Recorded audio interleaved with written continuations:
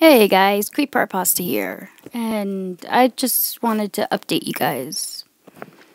So, uh, first of all, sorry if I sound a little funny. I just got over being sick, and I still am sick, so sorry. Um, you're going to see soon, very soon, two new videos on my channel. One is a collab. I won't say with who. That's a surprise. And these two videos are going to be my last. I'm not going to post on my channel anymore. Um, it's been fun, but uh, I'm not going to narrate anymore.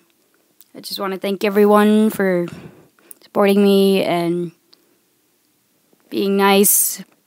And this is goodbye.